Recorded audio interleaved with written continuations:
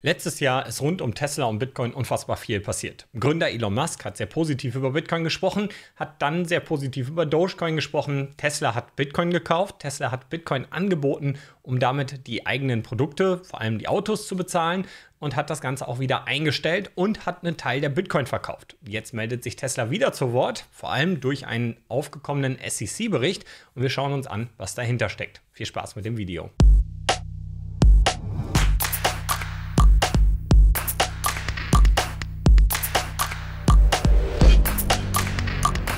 US-amerikanische Aktienunternehmen sind natürlich verpflichtet, der SEC Berichte zu erstatten über die Bestände an Kapital, die sie halten und unternehmerische Tätigkeiten, die sie umsetzen. Die SEC ist die Security Exchange Commission. Das ist sowas wie die Börsenaufsichtsbehörde der USA. Diese Behörde ist übrigens die mächtigste Regulierungsbehörde der Welt, weil sie unfassbar großen Einfluss auch auf das Geschehen am Markt haben kann und regulieren kann, was Unternehmen tatsächlich dürfen und was nicht. Und ganz viele Unternehmen sind hier meldepflichtig, was zum Beispiel Verkäufe angeht, was die Art und Weise angeht, wie sie arbeiten, agieren und auch welches Kapital sie halten. So musste Tesla auch damals bei der SEC eine Erlaubnis einholen, um überhaupt die Rücklagen von Dollar jetzt im Bitcoin ablegen zu dürfen. Das Ganze wurde erlaubt. Tesla hat für 1,5 Milliarden US-Dollar Bitcoin gekauft. Der genaue Bestand ist nicht ganz bekannt und hat dann durch diese Erlaubnis natürlich Riesenwellen geschlagen. Das war auch kein Wunder, dass sie das durften, weil im Endeffekt war das Unternehmen MicroStrategy schon vorangegangen mit dieser Erlaubnis, hat ja deutlich größere Bestände auch in Bitcoin gekauft und vor allem äh, prozentual gesehen von dem, was MicroStrategy an Rücklagen hatte. Und Tesla hat es denen mehr oder weniger nachgemacht, hat aber auch dort schon klar gemacht, für uns ist Bitcoin mehr als nur eine Anlage, sondern wir sehen hier auch eine Bezahlmöglichkeit und würden gerne in Zukunft auch anbieten, dass unsere Autos mit Bitcoin gekauft werden können. Ja, und da haben viele dann spekuliert, oh, das könnte in ein paar Jahren kommen. Kurz darauf kam diese Meldung und man konnte wirklich auf der Homepage die Tesla-Autos mit Bitcoin bezahlen. Da gab es einen Button, ähm, ich möchte mit Bitcoin bezahlen und das Ganze war dann sogar auf Full Notes oder hat, ist über Full Notes, die Tesla selber betrieben hat, abgewickelt worden. Also da war kein Zahlungsdienstleister dazwischen oder sonst was. Und Tesla hat auch gesagt, dass sie die dort eingenommene Bitcoin hodeln wollen. Also die nicht dann in Dollar tauschen wollen, sondern wirklich als Bitcoin liegen lassen wollen. Das Ganze zeigt natürlich das langfristige Interesse an Bitcoin. Und dann gab es aber einen Moment, da Tesla nachdem sie für 1,5 Milliarden Bitcoin gekauft haben, ein paar der Bitcoin für, ich glaube, damals um die 250 Millionen US-Dollar verkauft, nachdem aber auch ein Kursgewinn da war. Viele haben dann Elon Musk und Tesla unterstellt, dass das Ganze nur Pump and Dump war. Dort hat das Unternehmen aber klar gemacht, nein, wir glauben erstmal weiterhin an die Vision von Bitcoin.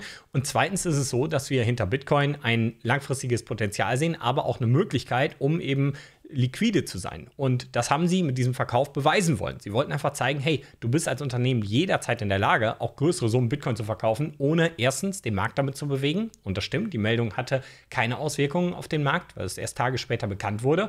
Und zweitens natürlich, um irgendwie auch darzustellen, du kannst damit deine Zahlen unter Umständen auch schönen, wenn das mal sein müsste. Und dieser Beweis der ist erbracht worden und dann haben viele gesagt, naja, wahrscheinlich sagen die das jetzt nur und verkaufen weiterhin Bitcoin. Das ist aber nicht der Fall. Bis heute hält Tesla seine Restbestände und damit auch das Versprechen, dass das nur ein einmaliger Beweisstück war, dass das überhaupt so funktioniert. Dementsprechend kann man da Tesla durchaus glauben.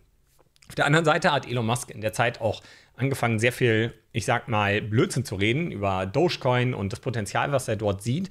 Und da gibt es ganz fundamentale Gründe, die gegen einen Dogecoin sprechen, also gerade auf technischer Ebene, aber auch auf ökonomischer Ebene, zum Beispiel eine dauerhafte Inflation von 5 Millionen Doge pro Jahr, dass das Netzwerk nicht ansatzweise an die technologische Sicherheit von Bitcoin herankommt und viele andere Dinge. Für Elon Musk, und das hat er auch dargestellt in einem Interview mit Jack Dorsey, Kathy Wood und ähm, ja, einem Moderator, dort sagte er ganz eindeutig, ja, eigentlich finde ich Dogecoin deswegen richtig toll, weil es ein kompletter Meme ist und das super witzig wäre, wenn diese bescheuerte, sag ich mal in Anführungszeichen, Kryptowährung die Weltwährung würde. Überleg mal, wie witzig das wäre. Ja? Und da hat man so ein bisschen gemerkt, es geht bei Dogecoin, geht es ihm vor allem so ein bisschen um diesen ganzen Witz dahinter. Und da ist dann immer die Frage, wie ernst ist das zu nehmen. Viel spannender ist deswegen, den Blick auf Bitcoin zu richten und was Tesla am Ende macht. Auch wenn er dort Geschäftsführer ist, ist es so, dass Tesla ja nach wie vor diese Riesenbestände Bitcoin hält. Und ja, dann aber hat Tesla bekannt gegeben, wir stellen jetzt die Bezahlung unserer Automobile für Bitcoin ein. Die Begründung war ganz einfach, Bitcoin sei nicht klimaneutral, beziehungsweise Bitcoin erzeuge zu viel CO2, weil das Mining sehr stromhungrig ist und damit eben unter Umständen auch sehr viele fossile Brennstoffe verbrannt werden, um Bitcoin Mining zu betreiben. Auch damals war der Zustand schon gar nicht so schlimm. Es gibt immer wieder regelmäßige Zahlen vom Bitcoin Mining Council. Es gibt auch andere Institutionen, die hieran forschen und versuchen herauszufinden, wie ist der Strommix der Bitcoin Miner tatsächlich, welche Energiequellen werden hier benutzt. Und was sich herausstellt, ist, dass immer mehr erneuerbare Energiequellen benutzt werden, denn diese produzieren regelmäßig Strom über. Also immer dann, wenn viel, zum Beispiel Sonne scheint, Wind weht und wir als Menschen oder Industrien diesen Strom nicht abnehmen, dann wird überproduziert. Und bislang kann man das für fast nichts anderes nutzen. Und Bitcoin Mining ist hier eine super Möglichkeit, dann diesen quasi kostenlosen Strom, der eh überproduziert wurde, nutzbar zu machen und damit auch erneuerbare Energien effizienter zu gestalten und natürlich auch konkurrenzfähiger zu fossilen Brennstoffen. Das heißt, genau genommen unterstützt Bitcoin hier sogar die Energiewende. Aber da haben dann viele schon gesagt, da müsste ja Tesla irgendwann mal hingehen und das Bitcoin, die Bitcoin-Bezahlung für die eigenen Automobile wieder anbieten. Gerade weil Teslas Aussage war, mindestens 50 Prozent des Bitcoin-Netzwerks müssten auf erneuerbaren Energien basieren. Und diesen Wert überschreiten wir seit über einem Jahr. Das Bitcoin Mining Council reportet hier regelmäßig Zahlen. Ich zeige euch das einmal. Das sind die ganz aktuellen Zahlen. Der gesamte Energiemix von Bitcoin liegt mittlerweile bei 58,4 Prozent. Hier gibt es eine äh, Messschwankung von 3%. Es könnte also sein, dass es sogar über 60 sind oder eben äh, um die 55% sind. Auf jeden Fall ist über 50% erneuerbar.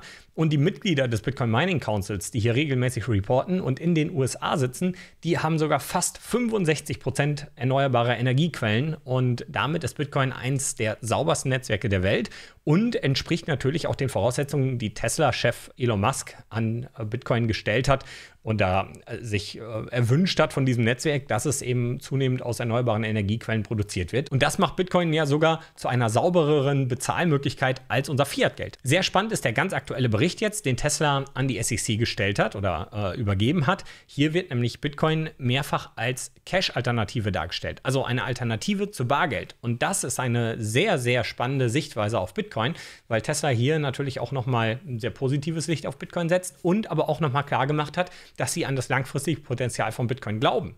Und dementsprechend glaube ich, mit den aktuellen Zahlen, die wir dort sehen, mit diesen Aussagen, die Tesla tätigt, und damit könnte natürlich auf Basis der sehr positiven Aussagen unter Umständen Bitcoin bald wieder bei Tesla als Bezahlmöglichkeit in den Shops auftauchen. Das wäre auf jeden Fall zu wünschen.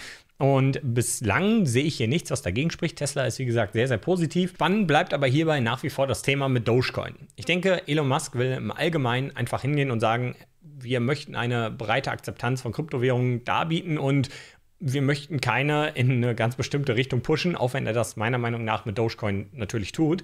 Ich denke, im Endeffekt möchten sie einfach die Freiheit lassen, dass der Kunde eben bezahlen kann, womit er möchte. Und ja, Bitcoin bietet die meisten ökonomischen Anreize, weswegen ich auch glaube, dass das langfristig genau das Geld ist, was wir als Menschen unter Umständen benutzen, weltweit. Und dementsprechend ist mir auch nicht so wichtig, dass nur Bitcoin dort angeboten wird. Da sind von mir aus auch andere Kryptowährungen möglich.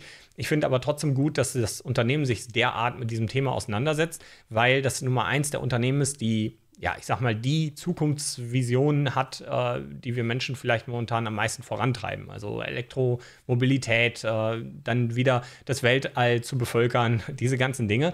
Was davon Science Fiction und wirkliche Vision ist und funktionieren kann, das werden wir in den nächsten Jahren sehen. Ich finde wichtig, dass in diesem ganzen Unternehmenskonstrukt sich auf jeden Fall mit dem Thema Bitcoin weiterhin auseinandergesetzt wird. Und eine Sache, die man vielleicht auch noch dazu erwähnen kann, die durchaus spannend ist, ist, dass Tesla gerade fort, äh, Twitter zu kaufen oder zumindest große Anteile und dass der Tesla-Chef ganz interessante Ansichten dazu teilt. Während er letztes Jahr auch in vielerlei Hinsicht meiner Meinung nach sehr viel in Streitigkeiten und so verwickelt war, ist es umso spannender zu sehen, dass er fordert, dass Twitter aufhört mit Zensur. Das passiert nämlich auf Twitter regelmäßig. Mittlerweile gibt es dort eine ganz aktive Shadowban-Funktion, die auch die Kanäle darüber in, ähm, informiert, wenn sie davon betroffen sind. Und das bedeutet, viele Leute bekommen deine Inhalte nicht mehr vorgeschlagen. Und das einfach nur, weil Tesla als Unternehmen beschließt, hm, deine Inhalte, die sind nicht so gesellschaftskonform oder die sagen Dinge, wo wir nicht dran glauben, die nicht belegt sind oder so und die stufen deinen Account dann zurück, zumindest für eine gewisse Zeit. Und das ist natürlich so eine Drohgebärde, halt dich an die Regeln, sonst äh,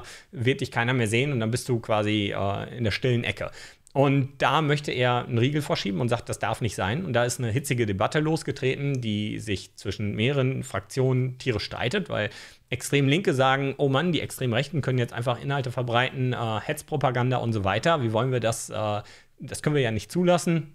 Die Rechten sagen, ja, die Linken machen das Gleiche. Das ist ein Riesenstreit, der jetzt in beide Richtungen stattfindet. Ich glaube, wenn man das aus so einer ganz neutralen Mitte betrachtet, ist es schon wichtig, dass jeder seine Meinung äußern darf. Wichtig dabei ist eigentlich, dass tatsächlich Hetze und so weiter in unserer Gesellschaft keinen Platz findet. Die Frage ist, können wir das unterbinden, indem wir diese Plattformen als Zensurmedien benutzen?